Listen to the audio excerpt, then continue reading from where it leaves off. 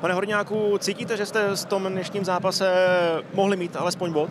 Tak my sme vyšli na víťazstvo. Si myslím, že celý priebeh ukazoval, že ten zápas vyhrajeme, pretože Spartu sme do ničoho nepustili. Sme boli jednoznačne lepším mústvom a bohužiaľ sa nám nevyplatilo to, sme na čo upozorňovali hráčov aj v kabíne, aj pred zápasom, že ten ťažký zápas môže rozhodnúť jedna maličkosť, jedna štandardná situácia. Ale myslím si, že celý zápas sme boli lepším mústvom ako Sparta, ktorá sa bránila a ťahala čas. V podstate ste sami videli, že, že brankár to držal a donútiť Spartu ťahať čas, tak asi to značí o to, že ich potrápili. Mrzí ma hlavne ten výsledok, že myslím si, že ja ten tento výkon dneska sme minimálne zaslúžili remizovať, ale spravili sme zbytočné chyby, mali sme možnosť dať penaltu, takže tu není o čom sa stiažovať na niečo. Sami sme si ten zápas prehrali, ale za ten výkon ďakujem svojim hráčom.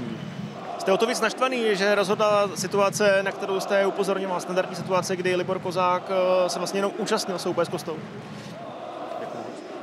Tak určite, že ťažko povedať, tam e, hrajme, hrajme priestorovú zónovú obranu, pritom ale skôr prišla chyba predtým, než Radim Brajte stratil loptu zbytočne a väčšia príčina bola vlastne, viac som bol nahnevaný na, tu, na tento moment, ale hovorím, zase mali sme možnosť kopať penaltu a mohli sme sa vrátiť do hry, takže že treba to povedať čestne, že ten výsledok je taký, aký je, pretože nedali sme gól. E, myslím si, že za ten predvedný výkon sa nemusíme hambiť, ale bohužiaľ nemáme ani bod dneska.